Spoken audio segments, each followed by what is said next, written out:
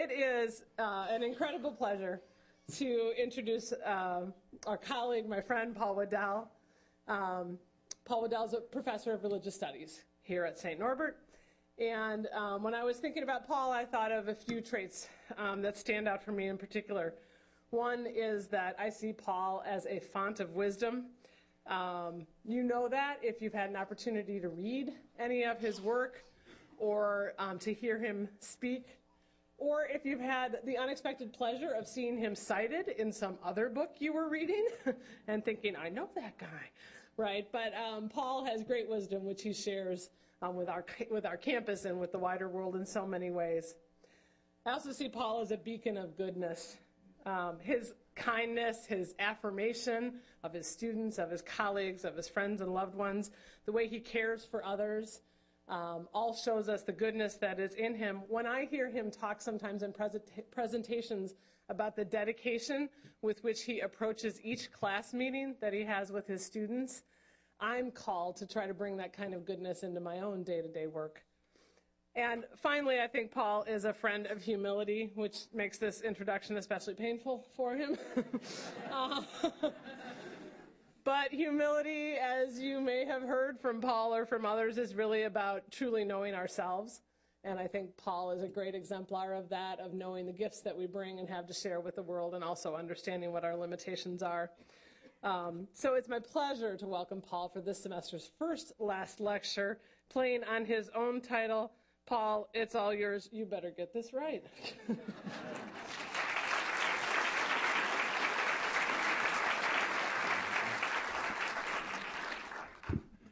well, good morning, everybody, and I hope you can. Can everybody hear okay? Is it?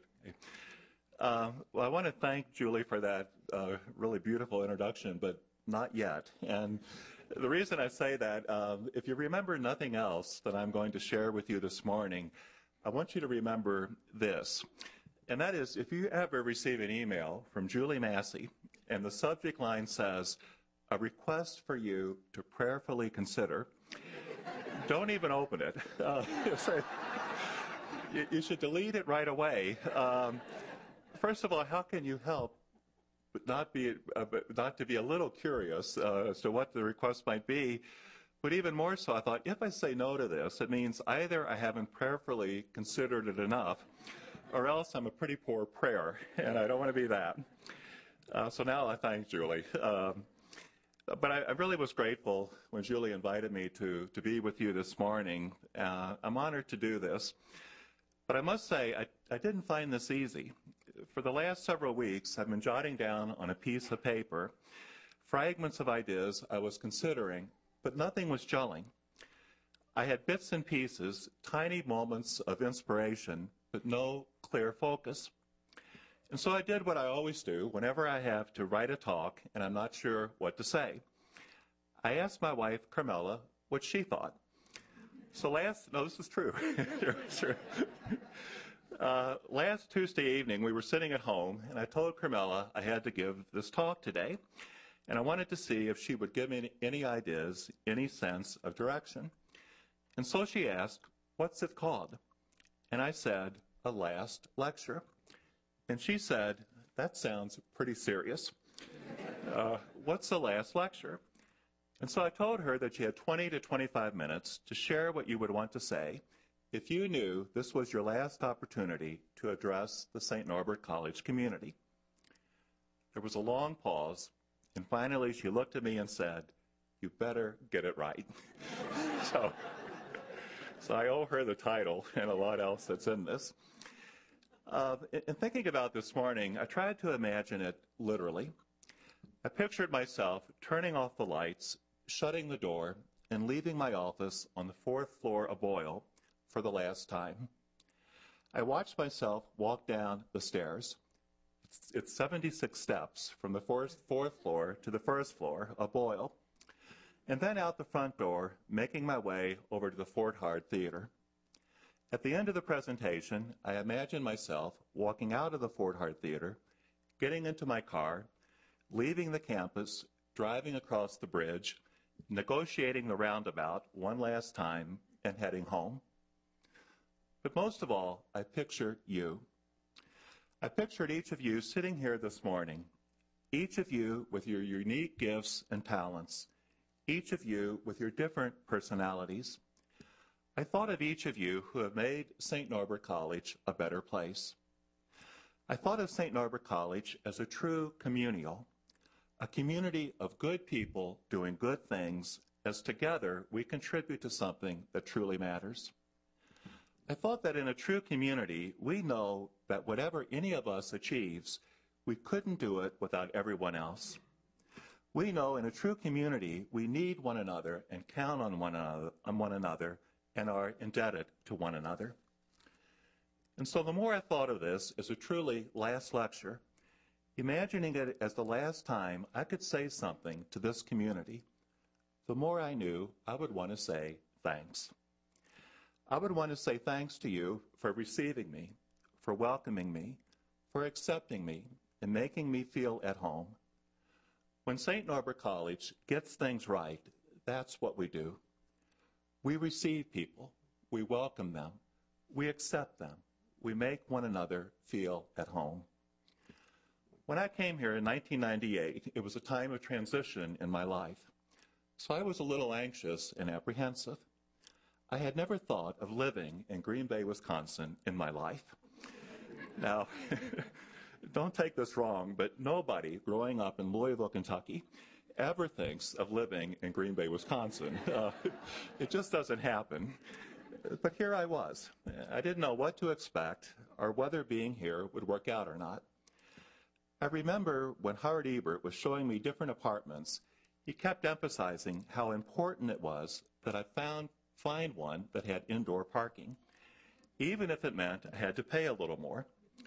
When I asked Howard why that was so important, he said, Well, sometimes it's so cold here that if you don't have a garage, you have to take your battery out of the car each night, bring it inside, and then put it back in the car in the morning. Now, he did. He told me that. Uh, I remember having two thoughts. Uh, first one was, what in the world am I doing here? Uh, the second one was, I'll pay whatever it costs uh, to have indoor parking. And I, I, just couldn't imagine that. To say, ask, ask somebody, say, well, how do you start your day? I said, I'll put the battery back in my car.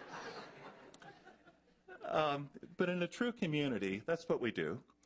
In a true community, we take people in and we let them become part of our lives, part of our stories. And this changes all of us. If St. Norbert College is a communio, that means none of us is exactly who we were when we came here. Each of us has been shaped and formed and guided and changed by everyone around us. When we get things right at the college, that is what we do for one another. We make one another better. We draw the best out of one another. And we make each other pretty happy for being here. You have done that for me. And so I want this morning to say thanks to you by sharing with you what I think we are capable of being and doing for one another when we really get it right. At our best, this is what I've seen. First, we help each other along. Last semester in one of my classes, we read Wendell Berry's novel, Hannah Coulter. The novel begins with Nathan, his father, and his 80 year old grandfather along with a few others, working together on a farm. When Nathan's grandfather begins to feel ill, his father tells him, Walk home with him, help him along, take care of him. Those words drive the story, and I think they ought to drive our lives. Walk home with him, help him along, take care of him. It's very simple, straightforward advice and it's what you and I are created to do. We are given life not to make sure that everything turns out best for us or works to our own advantage. We are given life to watch out for one another, to be mindful of one another, to help one another along, to take care of one another. We are given life to befriend one another along the way. And so that means we see one another not as strangers, we see one another not as nuisances who keep getting in our way. We see one another not as competitors and certainly not as adversaries. We see each other as gifts, gifts who have been entrusted to one another. Here at St. Norbert College, you and I have been entrusted to one another. We can talk about communio, communio endlessly, but communio is possible only when people acknowledge a fundamental truth of our lives. We are given one another to do good by one another. We are given one another to help each other along, to draw one another more fully to life. And since we are each other neighbors, we are given each other to love one another. For 15 weeks of a semester, faculty are entrusted with students they didn't choose but have been given. We may never see these students again, but for 15 weeks we are called to attend to them, to help them along, to do good by them, and to love them. The same is true with people we work with day after day, year after year. We've been entrusted to one another. We are called to see one another as gifts. This is, isn't easy because after a while our vision can become pinched and selective. We can start to take one another for granted. We can assume what we know of a person is all there is to know about them. We can get bored with one another, dismissive of one another, or start seeing one another in less than charitable ways. But then we aren't seeing what we need to see. What we need to see is the sacred mystery that lives at the heart of every person in this community. We need to see the sacred mystery that lives in the heart of every member here. And if we don't see it right away, we have to keep looking. What we need to see is that no matter where we are in our lives, we meet one another along the way. We get things right when we don't pass one another by, but when we reach out to one another and have time for one another. We get things right when we affirm and encourage one another, when we build one another up. We get things right when we look for ways to bless. Now, there's not a single day that I don't need a blessing, but it's not just me. I think it's all of us. We live to bless and to be blessed. That should be the rhythm of our lives, to bless and to be blessed. At St. Norbert College, we get things right when that's what we do for one another. At the end of a Friday class, students bless me if after her- having heard me wish them a good weekend, somebody says, you have a good weekend too, Dr. Wadell. Now, see, it doesn't take much. see, see, when it comes to blessing, big or small, I'll take them all. So uh, any blessing, I think, is a good one. Uh, but it's true. We bless one another when we take time to ask how somebody is doing and then listen to what they have to say. We bless one another when we take a moment to thank someone for what they do and let them know they are appreciated. We bless one another when we pass on a compliment we heard about a colleague. We bless one another when we look for ways to help people in their struggles and to let them know there are reasons to hope. In all these ways, we help one another along. Second, I think we're at our best at the college and we get things right when we're not afraid to practice resurrection. I know that sounds slightly exotic, uh, so let me explain what I mean by that. To practice resurrection, it's really simple. We practice resurrection when we look for ways to call one another to life. We practice resurrection when we have an insight into what would be good for someone and act on it. Here's an example. Every year before my birthday or at Christmas, my wife Carmela asks me what I want. My answer is monotonous, monotonously the same. I tell her I want books. So a gift certificate to a bookstore or money to buy books would be just fine. Well, she responds by reminding me that I already have more than enough books. Uh, books I'll never read, which is true, but books is what I want. Well, the Christmas before last, it was time for us to give each other our gifts. Well, Carmela walks into the room with this enormous box, a box so big and heavy she could barely handle it. I had no idea what was inside. When I opened the box, I discovered not books, but a bowling ball. Uh, never thought that was in the box. But not just a bowling ball, also a bag for my bowling ball. And not just a bag for my bowling ball, but bowling shoes. My bowling ball even has my name uh, inscribed on it. So, Now, I can assure you that I never once asked for a bowling ball in my life. Uh, have never even thought of asking for a bowling ball, and have never felt I needed a bowling ball, simply because I hardly ever go bowling. Uh, so I figure people who need bowling balls are people who actually bowl, and I, but now I had one. Well, the gift remained in the box until this past Christmas, when Carmela and I finally went bowling. To my amazement, my score of the first game was far better than I usually bowl, so I thought my new bowling ball had really made a difference. Uh, I, I, even thought if only I'd had a bowling ball years ago, you know, all those uh, missed opportunities. But the second game, my score had drooped to its usual level. But we had fun. We were laughing and enjoying ourselves, something that would not have happened if Carmela had given me the books I requested instead of a bowling ball. By buying me the bowling ball, she practiced resurrection. She brought me more fully to life. She had an insight into what would be good for me, and she acted on it. At St. Norbert College, we get things right when we find ways to do this for one another. We give life to one another. We practice resurrection when we use our intelligence and imagination and creativity to help one another prosper. We practice resurrection when we approach each day not by asking, What's in it for me? but how can I do good here? How am I needed? How can I help? We practice resurrection when we are genuinely happy when things go well for others. We practice resurrection when we find our identity not so much in our achievements, but in being instruments of God's love, goodness, and grace for others. Many years ago, I heard about a novel named Picnic in Babylon. I never read the novel, and I don't know who wrote it. But supposedly there's a line in the novel that asks, Whom have you raised from the dead today?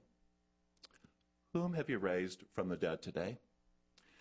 St. Norbert College is like any real community. Its members are gifted and blessed, but some are also hurting. Its members have known joy and life in moments of great exhilaration, but they have also known grief and sorrow, and maybe even desolation. Everybody carries some wound. Each one of us has something that needs to be healed or mended or restored. St. Thomas Aquinas said that God's power was God's compassion, that God's omnipotence was God's mercy. The same is true for us. We're, we are at our best when we don't deny or ignore the wounds, the hurts and sorrows of those around us, but when we do what we can to help them mend, heal, and find their way back to life. We are at our best when we practice resurrection in whatever way it might be needed. That same Christmas, Carmela gave me the bowling ball. I drove down to Louisville to visit my parents. My dad is now 89, and mom will be 88 in a few months. They're at the age when they spend a lot of time recollecting the narrative of their lives. One morning, the three of us were sitting in the den of their home, and mom and dad were reminiscing on different chapters of their lives. At one point, my dad turned to me and said, God has been very charitable to me. I was struck by what my father said because he didn't have an easy life. His father abandoned Dad and his mom when Dad was about four years old. This was in the late 1920s. His mom, now a single parent, had no education and no money. So they had to navigate the, the Depression years together. After high school, Dad was drafted into the Army and sent to Europe in the Second World War. Then Mom and he got married and had the nine of us. I know sometimes we disappointed them and we let them down. But still, that statement, God has been very charitable to me, is what Dad chose as the most fitting summary of his life. I would hope that all of us someday are able to say that as well. Things don't always work out the way we would like, and our lives can take detours we never expected and probably never cho- would never choose. We might not have the life we thought we would have and perhaps even hoped for but still, we've been blessed. I think we get it right when we take that to heart. Thank you.